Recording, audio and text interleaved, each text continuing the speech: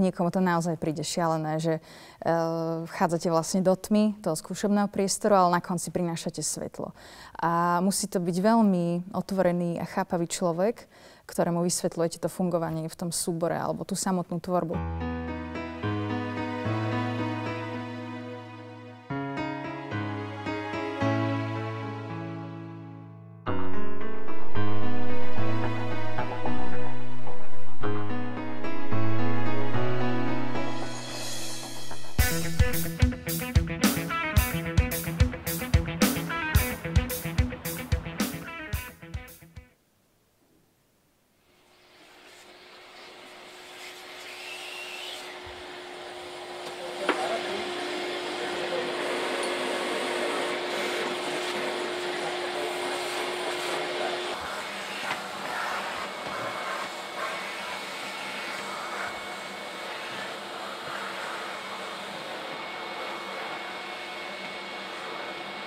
Teraz, jak tu v tejto chvíli aj upratujeme, tak uh, vidím tu práve kulisu z úplne prvého predstavenia, čo sme mali dobrodružstvo alebo zmierenie pri obžinkoch. A to boli absolútne prvé kulisy, ktoré sme si urobili na kartón.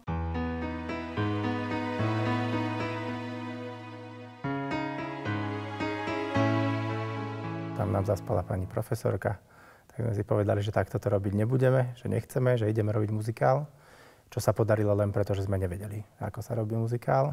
A e, dnes by som už do toho nikdy nešiel. My sme tie diela robili ako také študentské muzikály. Že ono to nebolo také, ako keď prídete na novú scénu, že sme teraz podali neviem aký úžasný horibilný výkon, ale na to, že sme boli decká, nemali sme žiadne zázemie, nevedeli sme, ako to máme robiť, to bolo pre nás fantastické. Čiže bolo to takým zázrakom. Vďaka tomu, že vtedy to vyšlo, by sme urobili takú atmosféru v meste, že sme vyzbierali 1 milión slovenských korún. Urobili sme si vlastné skladby eh, na základe Shakespeareovho diela Roma a Julia, kde zrazu z pôvodne jednej, dvoch repríz sme mali 20. Tak sme si povedali, že tak toto bude tá cesta.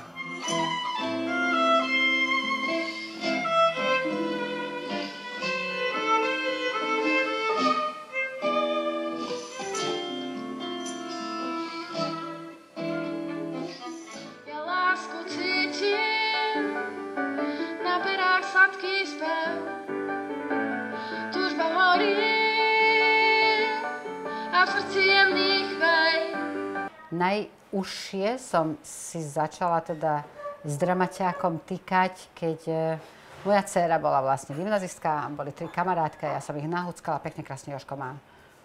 Konkurs, idete na konkurs, lebo divadlo musíte vyskúšať, keďže sama som hrala kedysi divadlo, tak divadlo musíte vyskúšať, ako bez toho to nie je.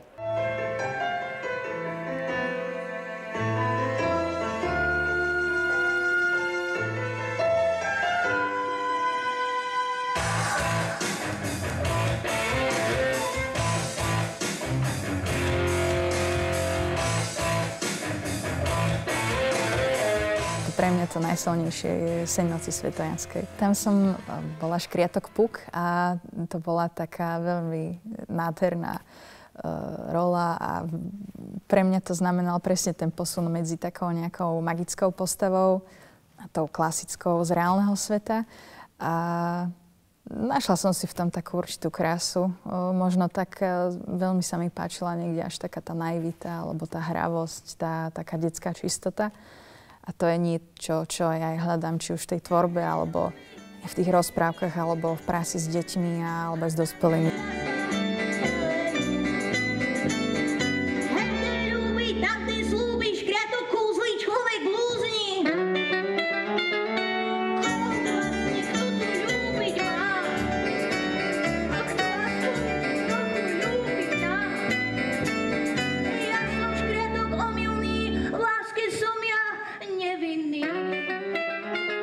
Vždy to bolo hlavne o tom kolektíve, ktorý sa okolo toho tanca točil a robil som to kvôli ním, nie kvôli samotnému tancu. A už potom, samozrejme, keď už niečo robím, tak sa snažím v tom nejako zlepšovať stále. Keď to dielo vzniká, tak ja pripravujem hudobné podklady aj pre spevákov, aj pre muzikantov a to je mimoriadne zaujímavé. My máme na Slovensku regióny, ktoré sú veľmi rozmanité. To znamená, že keď ja som doteraz hrala nejakú pesničku v Stekovia, že odtiaľ ju poznáme, tak e, potom zistím, že oni ju hrali aj niekde na východe, trošku s inými slovami, trošičku obmenená melódia a vždy ma to akože poteší a zároveň aj prekvapí, že stále je niečo nové, čo nepoznám a môžem sa naučiť.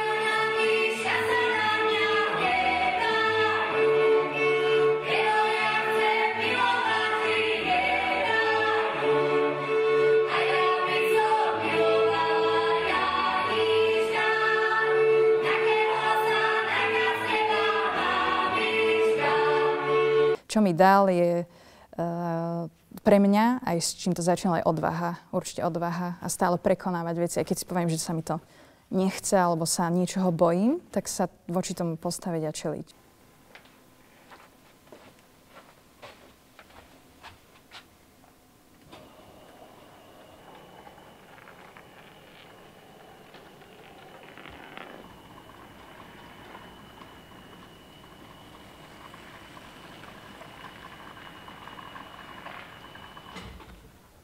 Vtedy ako asi 15-ročné dievče som ho tam zbadala na chodbe a bol veľmi prísny, práve si ťukal niečo do telefónu a nemala som veľmi predstavu alebo takú nejakú... Uh, nevrila som tomu, že tento človek bude s nami vedieť spraviť divadlo, ale vlastne po tej prvej hodine sa to tak veľmi zmenilo. To je na tomto úžasné, že on dokázal tie decka za každým motivovať, že mu chodili fakt každý týždeň na tie skúšky. Že mu chodili na skúšky ráno, že mu chodili na skúšky večer, že mu chodili na skúšky cez víkend, že tie decka doma povedali, že nejdem k babke, lebo musím ísť na skúšku, lebo Joško povedal.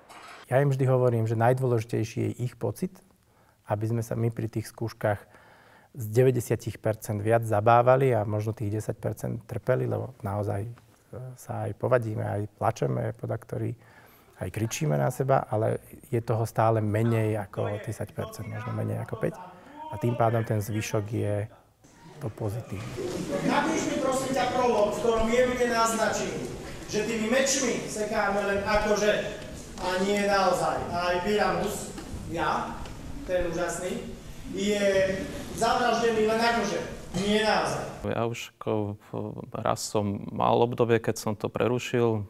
Keď som si začal robiť externe doktorantúru, tak som si myslel, že toho bude veľa na mňa, nebudem to zvládať.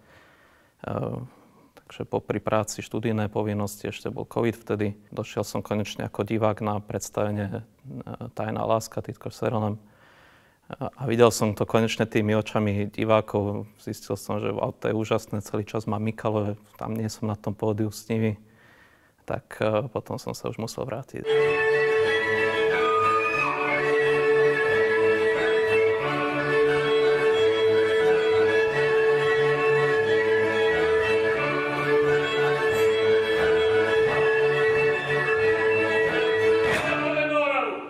Pre nás práca, je to pre nás radosť. My to stále, to tvorenie robíme aktívne. Dokonca mne sa v noci sníva o tom, keď niečo vyrábame nové a nevedeli sme si s tým poradiť na tréningu, tak, tak pracuje môj mozog, že potom v noci sa zobudím na to, že a preboha, takto to spravíme, tak to bude dobré.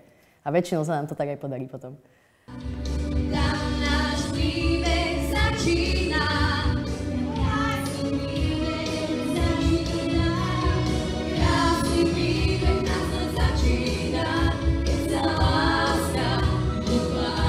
Zároveň vyplňal aj ich voľný čas.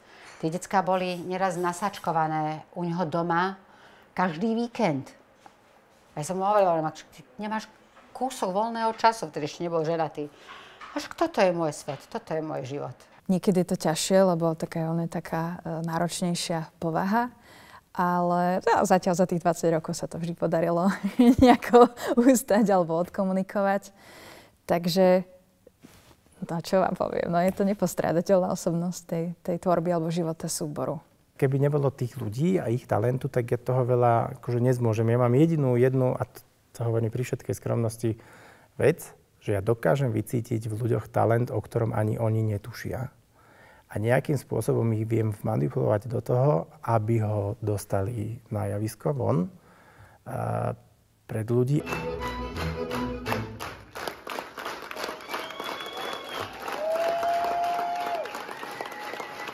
Samozrejme, že tam je napätie. Napätie nie len pri premiére, ale ja ako režisér sa ma týka aj, aj derniera, aj posledné. Ja som vždy pri každom jednom predstavení sa modlím doslova do písmena, aby sme nadviazali s tými divákmi atmosféru. Ja som nevynechal ani jedno predstavenie, tak vždy som tam bol. Ja som veľmi rád, že som to videl, lebo je no, to naozaj krásne, také by som to povedal autentické, lebo uh, ja rád chodím do divadla. Ja sa snažím, aby ľudia uh, mojich dielach rozmýšľali, ale zároveň chcem, aby im to bolo príjemné.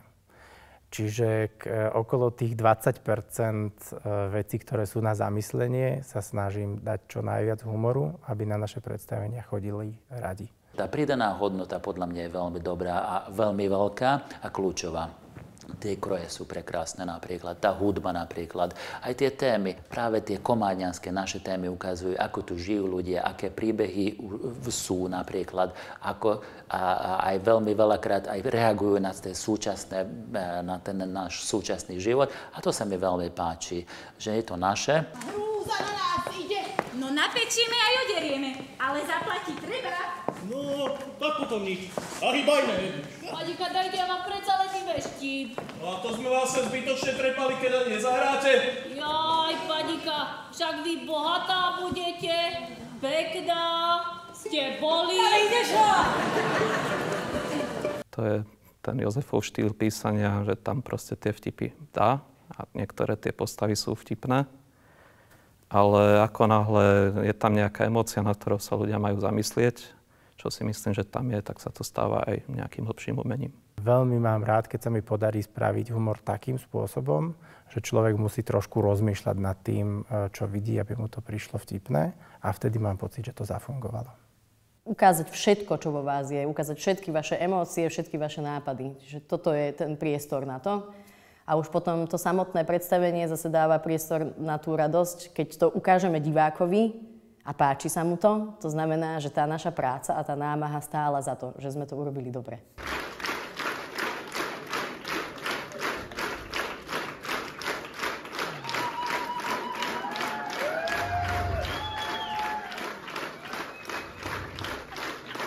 Divácky záujem my máme, paradoxne možno väčší ako väčšina divadiel na Slovensku, len e, sme v Komárne. To je náš najväčší problém. A ešte, aby to nebolo také jednoduché, sme v Matici, členmi Matice. Sú to matičné krúžky a Matica poslednú dobu je z nejakých divných dôvodov nepriateľom číslo 1 štátu. Takže tá situácia je veľmi zlá, že aj, aj momentálne kvázi pronárodná vláda sa k Matici otáča chrbtom. V najhoršom s ňou nekomunikuje a nechávajú žiť. Tá vláda, ktorá je teda, alebo teda tá časť politikov, ktorá je teraz v opozícii, by Maticu chcela zakázať alebo zrušiť. Čo by vylialo samozrejme aj nás. Ja som prežil už niekoľkokrát, že s Jozefom sme išli do Bratislavy, lobovali, lobovať za to, aby podporili vlastne tento súbor, lebo naozaj je to krásne. Snažíme sa ísť e, divadelnou činnosťou, aby sme to udržali, pretože ak skončíme, tak po nás už slovenské divadlo v Komárne bude len ťažko.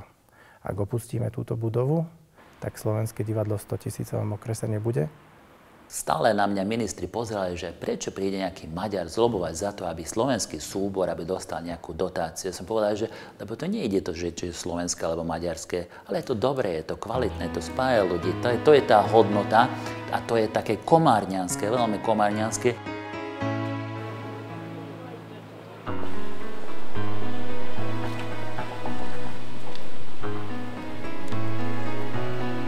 Jedine ešte mesto Komárno, ktoré nám teraz veľmi vychádza v ústretí a zase žijeme okrem našej podpory aj vďaka ním. E, ale ak aj oni skončia, tak sme skončili aj my. Čo robia, môže byť aj dobrým príkladom pre ostatných. A toto musíme chrániť, lebo práve v dnešnej dobe jednej strane je vojna, na druhej strane sú všelijaké konflikty.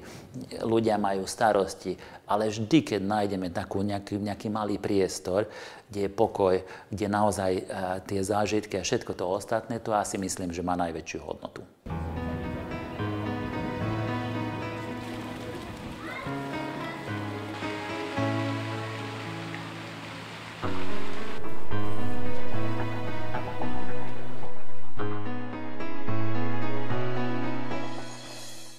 Predtým si ľudia mysleli, že my sa tu Maďari a Slováci bijeme s flašami po hlave, alebo keď sem aj prídu tí návštevníci na legendy Komárna, na naše predstavenie, potom si ho pozrieť, tak uh, niekedy sú takí rozčarovaní, že prečo tu máme nápisy dvojjazyčne. Jozef Černek uh, E, to všetko spája aj ľudí, aj keď sú, každý máme všelijaké starosti a problémy, ale napriek tomu nájde tú cestu, ako vlastne ukázať, že aké krásne je naše mesto. Tým, že my im vysvetlíme, že tu nie je žiadne napätie pre nás a že sa snažíme fungovať ako ľudia a na ľudskej úrovni a profesionálne, tak uh, vtedy tak zjemne. Už na konci predstavenia ľudia, ktorí predtým mali nejaké rasistické poznámky, poviem to otvorene, alebo politické uh, nejaké, nejaké komentáre, že som sa vyslovene cítila nepríjemne hambila sa ako človek, tak na konci plaču od dojacia. Vždy, keď sa mi podarilo dostať uh, do novín, televízie, joj, akúkoľvek správu o, o, teda, o, o, o, o tomto kultúrnom združení, o tomto fenoméne, lebo ja to stále nazývam, že je, je to fenomén naozaj, pre mňa, v mojich očiach to je určite fenomén, tak som bola vždy nesmierne rada a bola som taká spokojná, že dobre, dobre, nech všetci vedia. Nech naozaj všetci vedia, a že keď sa chce, tak sa dá.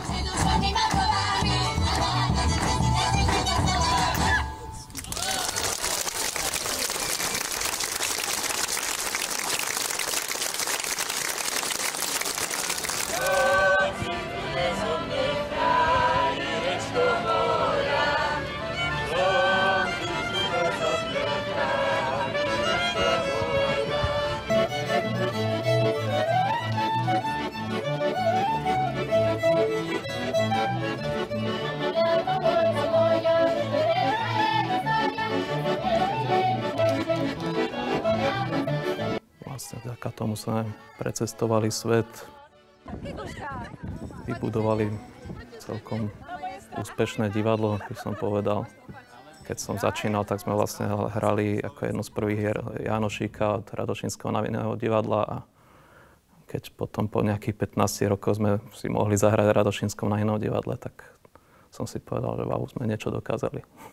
A to je presne ten vývoj, že sme začínali s nejakými kartonovými škatulami alebo kulisami, ktoré nás robili rovnako šťastnými, ako nás robia teraz o nejaké veľké výpravy, lebo vždy je to o tých ľuďoch, o tom jadre. Keď nám v Portugalsku tlieskalo celé námestie, alebo vo Francúzsku, a, a, ale hlavne tu u nás doma, my máme naozaj najlepšie publikom v Strednej Európe a všetkých pripojených okresoch, tak je to tak silný pocit, že zrazu všetko to, čo vám to zobralo, najmä teraz za posledné roky, kedy musíme bojovať o každé euro, aby sme zaplatili plyn, vodu, elektrínu, tak uh, to zmije všetko to zlé. No a ako náš basista v súbore hovorí, on bude hrať do stovky, takže keď on bude hrať do stovky, ja musím hrať minimálne do 85 lebo medzi nami je 15 rokov rozdiel, takže dovtedy to musím vydržať robiť.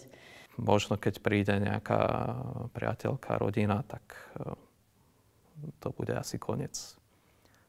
Väčšina tých mojich rovesníkov, ktorá začínala so mnou, už rodinu majú, už nemajú toľko času asi na nás. Takže kým toto nie je, tak, tak mám čas eh, chodiť do rodiny sem.